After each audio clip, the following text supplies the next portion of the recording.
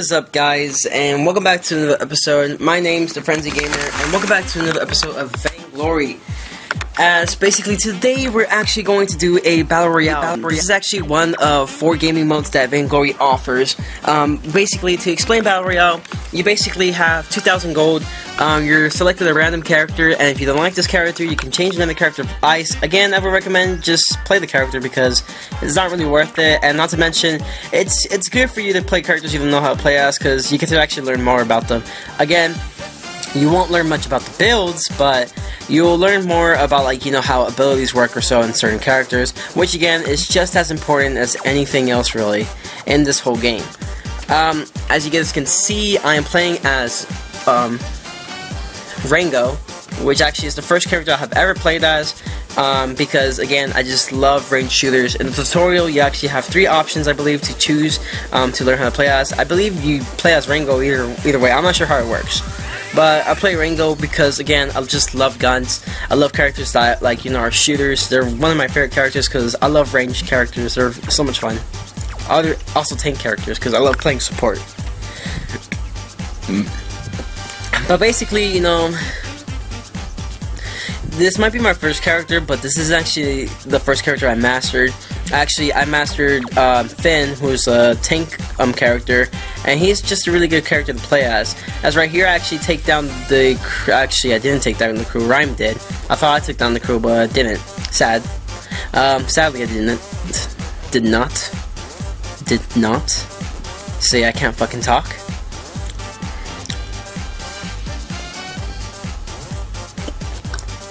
But yeah. Um, there's also other game modes that you can actually play in Vainglory. One of the game modes you can play as is um, Casual, which is actually the original game of Vainglory. Pretty much you're giving a jungle and also the uh, middle lane, or the lane, and pretty much um, what it is, the jungle basically is for you to actually be capable of leveling up. As I killed the Krul there, and I believe I killed the, nope, the Celeste was still alive. Um, as basically um, the jungle basically is specifically to just level your character up. It's also to like gain gold or so. It's a quick way to gain gold other than the lane. Um, jungle is also a great way to gain gold. Um, jungle pretty much um, also has a kraken available to where you can actually um, make a difference between losing or winning for the enemy team or, or your team in general. Um, the kraken just is a very a strong character that you that you can have on your side to destroy enemy turrets. And it can go either way, really. The game can go either way with that. Um, you also have um, Crystal Sentries, where basically they're specifically um, to level up the minions um, to make them stronger. And your objective is to at least take down one. But if you take down two Crystal Sentries, it makes a huge difference in the game because again, your minions will be a lot stronger afterwards. Um, ranked match is basically the same thing as casual match, but pretty much um, it's it's the same thing as for the fact that you know your your goal is to just kill the crystal, the enemy crystal, in order to win the whole game. Um, but you know it's the same thing except like you get ranked for it pretty much. That's pretty much what a ranked match is. Um, the well, let me see. I think I get the Adagio here. Nope. I was really close, but I decided to Oh, actually, no, I killed the Krul. Nice. Um, and pretty much the last gaming mode that you have available is Blitz, which basically it's the first team to 15. Um, pretty much that's just how Blitz works. It's the first team who gets 15 points wins, and that's pretty much all it is, really. It's just the first team who gets 15 points wins the whole match. And it's just really um, a fast paced game. You can actually pick any character you want this one. Um, and you actually start off with 8,000 gold. You actually have the option to go to home base, which is not an option for Battle Royale. But um, pretty much you start at level 10, um, you actually are capable to go to um, the home base and build up and pretty much just the first to 15 points. Again, how you get the points pretty much is uh, killing an enemy hero will be one point, uh, destroying a turret or defeating the gold miner will be 3 points, and uh, destroying an enemy sentry will be 2 points. And that's pretty much how the game mode works. The first team to 15 wins. Typically, this takes 5 minutes or less. Sometimes, if you're a really good team, you will, it'll take less than 5 minutes. I actually was in a match to where it was 15 and 0, and it was just a really good match. Like, we just dominated so hard. As I get killed by the Celeste here. Um, and yeah, I mean, like, honestly, this game is a very fun game. It's a very fun game for an RPG that's in mobile. Um, honestly, it's one of the best mobile games I've ever played. I mean, other than Clash Royale. Clash Royale is just a really fun game in general, but I just love this game so much, like, even more because, well, it's just very unique. Like, you don't really see great mobile games like this um, often, except maybe probably Dota or so, but, like, you know, um, you know, you don't see much great games like this often. And like the sad thing about this is that these games are typically not as popular. Um, and that's the sad thing because you know these are games that should be popular because developers are just very, they're very nice. Um, they're very nice and like you know they kind they really do listen to the um, people. Um, and they're just great developers in general. Like you know, these these guys really care about their um, about their like you know people. As I killed the Krul here, um, the developers really just have great ideas. To start off the game, I mean, yeah, it had lots of issues when it came to connectivity, but once you resolve those issues, and so, like, the game was just playable again, and it just kept getting better and better. You know, the game is still fun, like, I'll, i still play it every time and then, um, and, like, you know, as I kill the Adagio there, um, it's just always been one of those games I always come back to and just to play.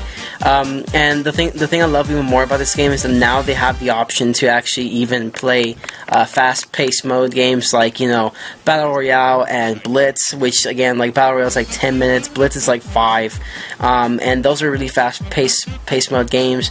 And I just love playing fast-paced mode games because like you know you know playing a rank or casual match is great and all, but like you know it gets boring after a while, or sometimes you don't even have the time to play all that. So playing like a casual match or so um, not a casual match, playing like a Blitz or a Battle Royale is really nice because, you know, you have something that's a lot less time to take for you to play as, and it's, you know, you can play this more often. And it's great, it's great that they actually kept thinking about that when it came to the fans or so. Um, one of the things I would recommend for this game, though, is probably like you know have more maps. Like you know, you get tired of seeing the same map over and over again. Just changes like you know some environment or so, depending on the holiday season or so. Um, you know, I think if anything, they should probably just change the maps a little bit. You know, that's just my opinion. Um, everything about this game is fine, except like you know maybe just change the maps a bit. Um, maybe kind of change some things to where you can change your name as well, because it does cost a lot of um, ice in order to do it. Um, and like it just kind of sucks, but that's just the way it is. And not to mention, like you know, I feel like they should probably also um, have like a huh i'm not sure what's the word for it really but pretty much i think if anything needs to be better about this game really is probably, um, I mean, other than just having more maps or so, is maybe having like more like unique skins for characters. There's a lot of characters that still don't have skins that much. There's also some characters that don't really have much unique skins. Um, I'm talking about Fortress for this example. I don't exactly love his legendary skin. Actually, I prefer his rare skin. His rare skin is just really um, awesome and stuff. I like his red legendary skin, but it's just not as great. Um, as, again, the um, actually saves me from that and allows me to actually get the kill from the Krul. Um, so that's awesome. And we both get killed by Celeste's ability. Um, again, one thing about Celeste's ability that you should probably know about her ultimate, which is the one you just saw, um, is actually capable of going through a majority of the map, which is something you should probably watch out for. It does tons of damage, and it just literally goes up on the map. So, like, literally what happens is, like, once you see that ability, it's kind of hard to dodge it because, you know, it's just so long. Um, but yeah, like, I feel like probably just make better skins for some of the characters because some characters do deserve better skins. Um, I think Fortress could have used like a better skin, make it more like, um, make it more flame-like or so. Like you know, make it like don't make it look like a, some type of robot. Make it like flame, flame-like, flame and demon-like. I, I actually like that's what I liked about the rare skin really. But you know, most of the stuff is it, Vainglory in general is just a really good game, and I probably recommend you guys to get it. Like it's for free. It's in the it's in the Play Store. It's in the iTunes Store, I believe. I'm not sure, but it's it should be like in your application store. You know, just just go get it. Like go play it. Try it out. It's a lot. It's a very fun game. It has a lot of modes, and like they actually have seasons now. Um, like seasons. Um, I don't know what to call it. Like season prizes, I guess is the best way to call it. Where basically, if you get like a certain amount of like sunlight, which basically basically you get them from like doing matches, and you get even more if you have like um, skins or like you do like mat matches like you know casual match which gives you like one sunlight at least if you do matches like that, like you, you know, you can get like a ton of stuff from it. You get lots of cool stuff, and it just makes it like more fair for you know the players who are not like you know paying players. So like I really like that aspect of it. And I use my ultimate ability against the Adagio. Um, I believe I go for the Krul at this. No, not the Krul. On the Celeste, as I actually get the Celeste at this point. Nope, Petal actually gets the Celeste in that one. Um, and for me, I was trying to get the Adagio, but decided kind of not to. Just kind of gave up on that search because, well, the turn was just right there. Now, right here, um, I actually did not do the best um, at this. I actually just decided going for the um, enemy turn though because it was just right there. It was really easy to catch. And like since it was undefended, I mean, I was like, you know what? Why not? You know, just give us more territorial ground. That's just as important. At this point, um, I decided going for this other enemy turn as well because I was like, you know what, why not? I mean, the cr the Krul was distracted by the Petal, and I was just kind of like right there destroying the enemy turn. The Petal actually decides to sacrifice her own life for me, and again, thank you again, Petal, you're the best. And pretty much, like, you know, it's just, you know, it's just there pretty much for the most part. Um, as I start basically going all the way back to home base, I go to the closest turret that I see, even though most of our turns are destroyed. Here it is. Here's the turret. And yeah, I mean...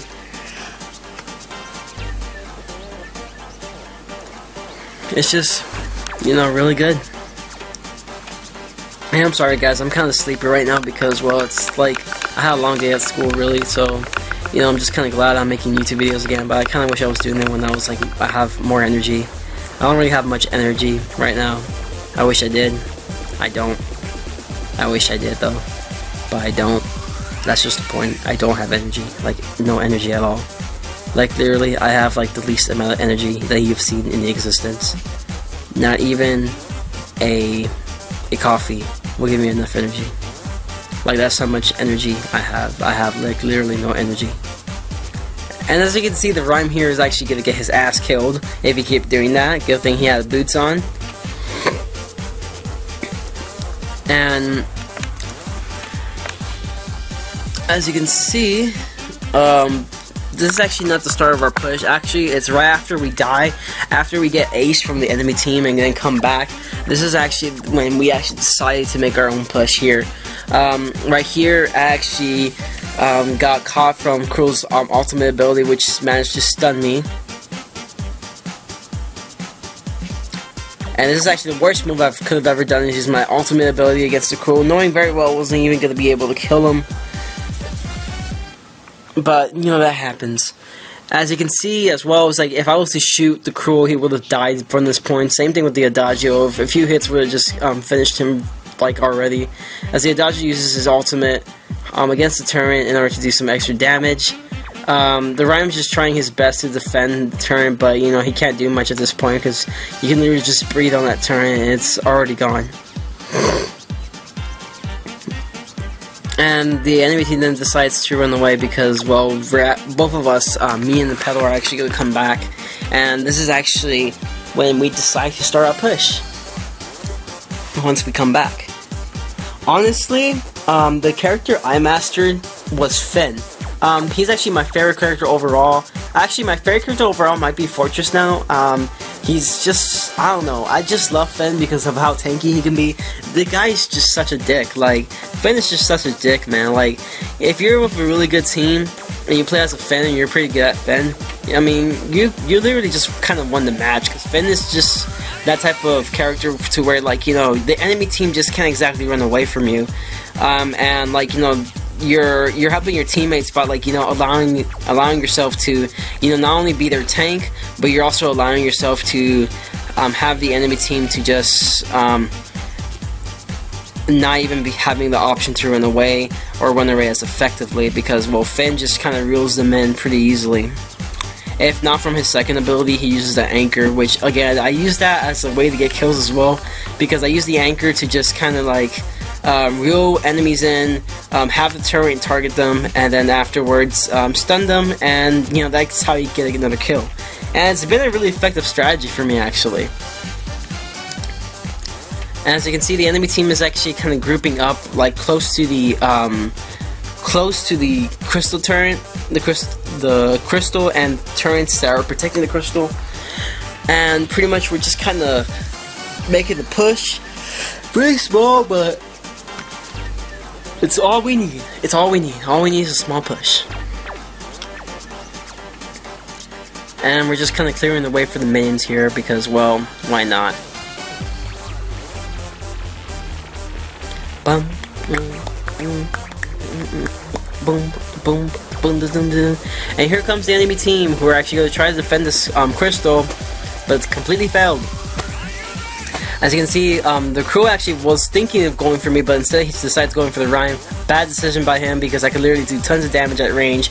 The Adagio actually uses his ultimate ability, and I actually start hitting. I start hitting using my special ability. Special ability hits the Adagio, does some um, burst damage. I'm doing some burst damage against the Celeste. Celeste is killed. Then I just kill the Adagio, and now we actually have gotten an ace, and this match is over. As we actually, we just clear more minions because, like, you know, fuck these guys. And now we're actually going to be able to destroy the um, enemy turrets. And it's already too late now. I mean, like, honestly, they got aced. Um, even when they did come back, like, you know, it was already over at this point. It was at this moment that they found out they fucked up. and now the crystal is destroyed, and we have won the match. Again, and when it comes to kills, wasn't the best, but you know, we did what we could and destroyed the enemy enemy crystal. As for stats, stat wise, um, you have me being at 8, 4, and 5, um, the Reim being at 2, 6, and 3. Um, was actually 4, 7, and 6. She did a pretty decent job protecting me and everything. Um, um, Celeste was 7, 4, and 5. Um, the Krul was actually 774, and the Adagio was actually 3, 3, and 10. Again, good game, guys, and I hope you guys also enjoy this video. Um, I really enjoy playing Vainglory, and I would actually like to make more videos of this. Um, it will actually be in this exact format because I don't exactly have the best um, stuff for for it, sadly. But once I do, I'll probably be playing like an actual live gameplay or so of me actually playing it, not just talking over a gameplay I just already did. Um, but again, if you guys really do enjoy um, watching these type of videos, you know, leave it down in the comments and you know suggest characters I should play in or like in battle mode. Um, suggest like maybe some builds I should try out. Um, crazy builds, like you know, it doesn't really matter. Just suggest me anything, and you know, I'll I'll do it for you guys in the, in the next video. And I hope you guys again enjoyed this. Um, if you guys want to add me on Vainglory, again, it's Mythology Legends and. Um, I'll play some matches with you guys if you like when I'm available.